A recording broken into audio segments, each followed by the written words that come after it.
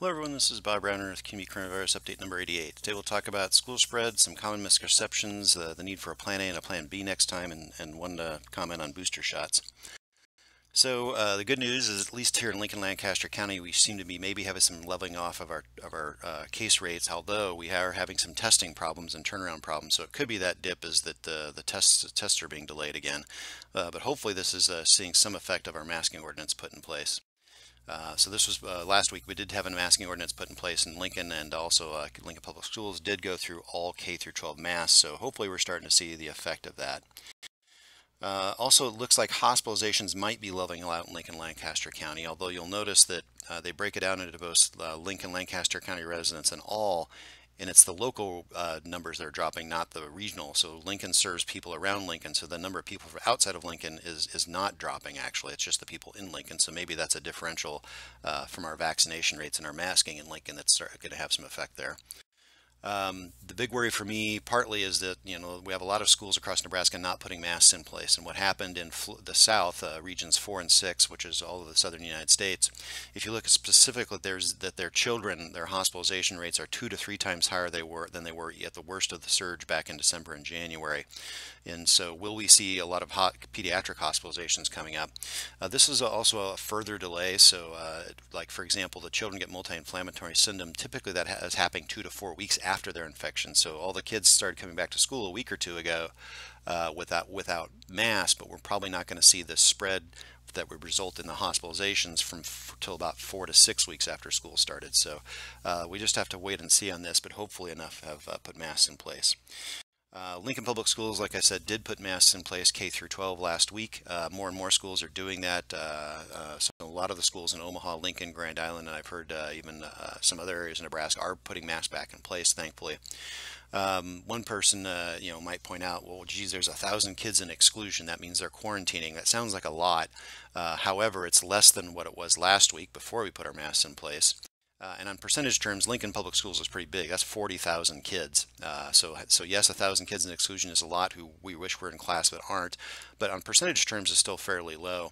Uh, one thing I'd point out in this is that uh, is that the K through 5, which started with masks, none of those kids are vaccinated, where half these kids in Lincoln are vaccinated, yet there's uh, not a big difference in the positivity rate, which I would say this is the masks are, are helping about as much as, have, as vaccinations are helping. If we add them together, uh, then they're going to be very, very effective. Uh, UNL is also tracking positivity rates. If I remember correctly, last week uh, they, they did a big sample of everybody, but now they're mostly sampling the kids that are not vaccinated, and you are seeing a big jump in the positivity rates here.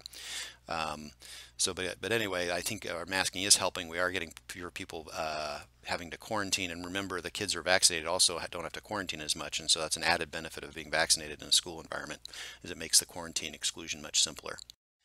Um, and this is, uh, you know, compared to last year in November, we had about a similar number of uh, positives and exclusions last year at this time for November, uh, which to me is actually a success because many people are worried that Delta is being a much more infectious virus. We probably, if anything, need to be doing more than we did last year, not less.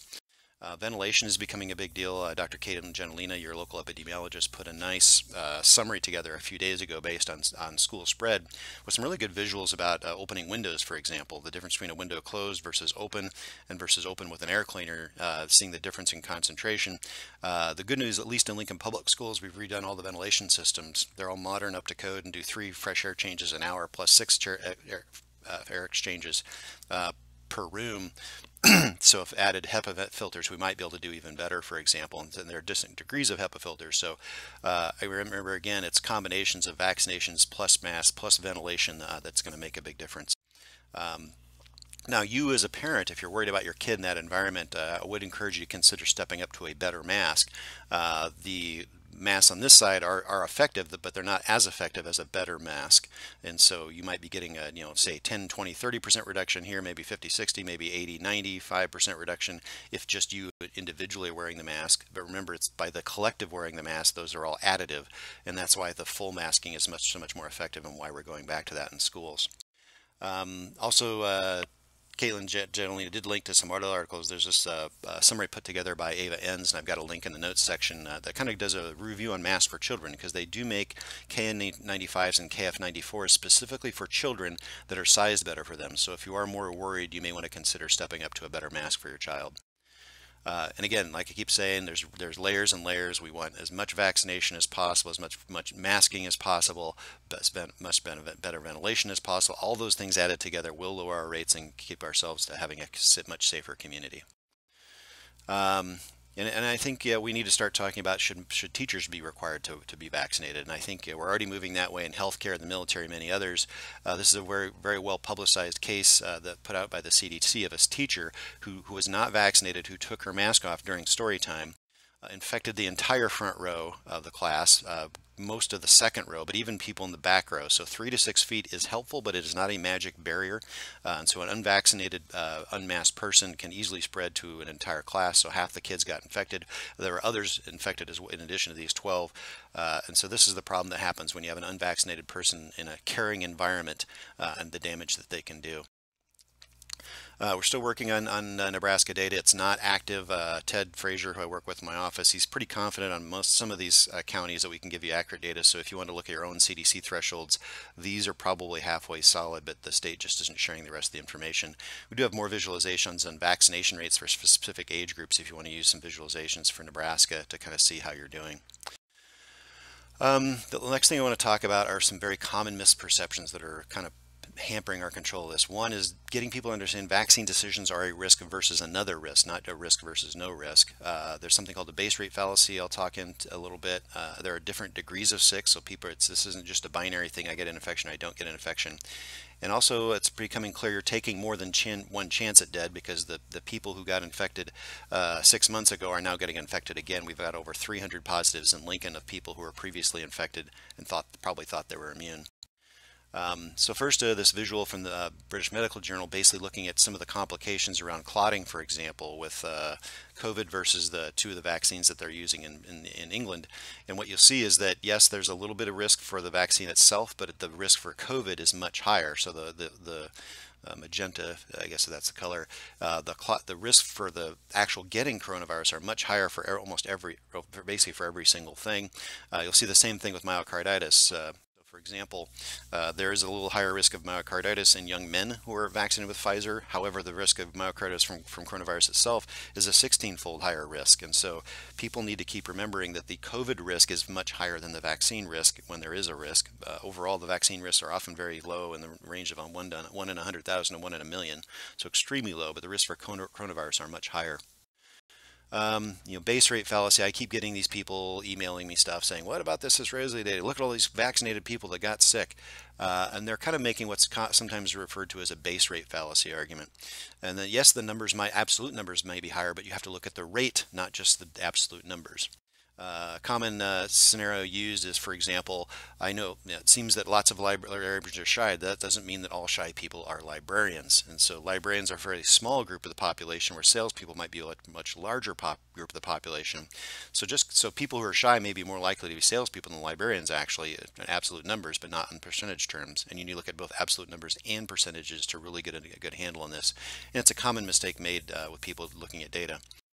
So uh, another way to look at, although, is also degrees of sick. Um, so for example, if you look at the age 85 plus in, in Bryan's hospital that they released this visual yesterday, yes, five out of the four are, five are vaccinated versus four unvaccinated, but these are people very old, very sick, uh, have other underlying health conditions. But overall, you'll look that almost all the other age groups uh, are unvaccinated, and this is a high percentage population. So over 90% of the people in Lincoln over 65 are vaccinated. But if you look at how sick people, all the ICU and ventilator patients are unvaccinated. So yes, there's a few vaccinated people landing in the hospital, but they're mostly older, sicker people to begin with, and they're not getting sick enough to be in the ICU or ventilator though. So a lot of our deaths are happening in that group. Um, so like I say, you know, we're, we're approaching over 90% in some of our populations, especially the 65 to 75 year old, uh, making some progress in the 12 to 15 year old. So, you know, this is one shot, two shots. So in a few more weeks, we'll be over 60% vaccinated 12 to 15, which is great to see, uh, but really would like that in the 70, 80% range. Uh, and another thing to keep pointing out, that those people on ventilators, there actually are two people in their 20s today in Bryan Hospital. Uh, those are young people who didn't have to be there. A vaccine would have prevented almost all of those, essentially. And most of them are, are people under 65 because that's the pool of people that are not vaccinated, at least to the age that people over 65 are. So the other thing, like I keep pointing out, the degrees of sick. Yes, there are some people who are lucky and get an asymptomatic infection, although their immunity may not last. There's another group that gets sort of a flu-like illness, but then people keep forgetting the 10 to 20% with long COVID, the 2 to 5% who will have post-hospital complications, heart attacks, strokes, permanent lung damage, and the half to 1% that are just dead. Um, and I keep getting that that quote, well, people say only 99% are going to make it, so only 1% die. Yeah, but you're taking that risk more than one time, which is the other thing. So the analogy I might use is if I gave you a free uh, airplane flight to Las Vegas and I said, you know, the only downside is if the plane's going to blow up one out of 100 times, would you get on that plane flight? And actually, it's not just the plane flight there, it's the plane flight back there. There's another one in a 100 chance. Would you be taking the flight to Las Vegas and back? Probably not. Uh, and so don't take this chance, just get the safe, effective vaccine. Uh, and like I said, the studies are out there. So for example, the people with asymptomatic infections in this study, 92% of them had no measurable immune response. And so the immunity, yes, there is some immunity, but not enough that's protective immunity. And there are people who are getting uh, infected and uh, dying uh, with a second infection. And so most people are, uh, most of the studies I've seen shown that, that getting the coronavirus, quote, the natural way is equivalent to one vaccine dose, but it's looking like, if anything, we need three. So you might be able to count that prior infection as one of your vaccine doses, but you still need the other two. So, and the problem, of course, is there is also differing types of immunity. So just because you have a measurable antibody against the Wuhan strain doesn't mean it's going to work against the Delta strain or the strain after that. Uh, a really good article uh, from a few weeks ago that I thought was very fascinating. There's a science article talks about the evolution of the coronavirus over time initially there was some hope that the the evolution that the the variants were all sort of moving in a similar direction such that there was going to be a limited escape from immunity. But it looks like they're not all uh, uh, evolving in, in the same direction. There are different directions different infectiousness uh, uh with the delta being the most infectious so far but also some with uh, some uh, more ability to avoid immunity. And so if, if you had both a more infectious and a, a strain as well as a, a, strain that was better at avoiding immunity put together we could be looking at another surge here. And so we have to keep keep in mind, I hope this is our last surge, but it might not be. We could be in uh, surge 4 of 4, but we could also be in surge 4 of 7, and we need to have a plan for that. So what I would say next is we need a plan A and a plan B, because we didn't even really have a good plan A this time. Uh, we knew uh, what we need to get vaccinated. Uh, you know, yes, I'm happy to see this uh, brighter dot, which is Lancaster County, but this is nowhere near the vaccination rate needed. 62% of the entire population isn't good enough. Um, the R naught of the, the, Delta virus is in the 6 to 8 range. Uh, so to have herd immunity, you need 83 to 87% uh, immune uh, that would be that would require 100% effective vaccine, which we don't have. A 90% of vaccine, effective vaccine, we'd have to vaccinate over 90% of the population if we wanted to rely on vaccines alone. So we're probably not going to be able to rely on just vaccines alone. And of course, our immunity, the effectiveness seems to be dropping a little bit, although the third dose, dose could push us back up to here. But we're going to need high vaccination rates to, to, to rely on vaccination alone, which we're not there. Um, so the spread, we could have seen this. We saw it happening. We saw it happening in India. We saw it happening in UK. We could have prepared, but unfortunately we didn't. So here it is spreading in Nebraska, you know, getting squeezed uh, from infections coming this way and this way in both directions.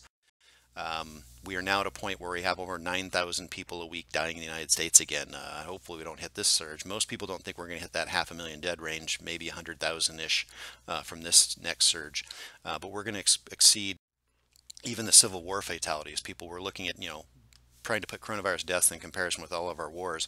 We're actually over Civil War, and this next surge may be as bad as Vietnam or World War One just from this surge alone. Keep that in mind. So plan A metrics from backing off, people say, okay, when can I take my mask off? And I'd say, well, here's some uh, criteria I've been throwing around to some folks. We'll see what if we give a clear message, hopefully in the future on this. I'd say number one, hospitals have a have has to have capacity for sick people before we take our masks off because they need a break. Uh, and you don't want to exceed hospital capacity because then mortality goes up not just for coronavirus but for everything else. We need to reduce community spread. I would say by the low moderate by CDC criteria, which is what I've been using uh, uh, uh for the last uh, few episodes. Uh, you need sufficient vaccine rates in a building, likely 70 to 90 percent range. If you had some immunity from the last strain, you might be good at 70 percent for a few months, but then as that immunity wanes, you're probably going to be needing to getting to 90 percent eventually. we need differential masking. I think. I think if you're going to choose not not to wear a vaccine, then you have to wear a mask. And I think we need a vaccine verification system in place, and we need adequate surveillance testing and to be proactive next time. Um, you know, this is where we were um, we, we could should have known way back here that we needed to make a difference and we didn't. We let it go too far before we put our mask ordinance in place. Uh, people need to understand we are in a linear, not we're in an exponential problem, not a linear problem. If you wait to make your decision here, it's too late. You need to make your decision back there, uh, which is this article if you want to read more about it, uh, basically talking about moderate, just moderate COVID restrictions can can work by themselves, but you have, but the timing is critical, and you have one week to make that decision, not a whole month to drag your feet and hem and haw. Lastly, we'll just talk about booster shots. There still are no concrete recommendations for most of us yet, uh, although they should hopefully be coming out in a few weeks. Some people I know have already started. Uh, so, for example, uh, some doctors I know they, they have excess vaccine, they'll just give themselves the shot rather than throw it away. Another person was in a high, I know a coworker was in a Hy-Vee, and they just announced over the intercom they've got extra doses, so he got his third. Uh, but what about J and J? And there's there's just less data on that. I think an honest question you certainly could ask is, what would you do? Uh, me, I think if I had J and J, I'd probably go get the booster right now. Hopefully this is helpful. Again, a disclaimer, these are my opinions, not necessarily everybody I work for, uh, but uh, hopefully these are helpful to you and the old episodes are on healthylincoln.org or you can just go to the YouTube channel.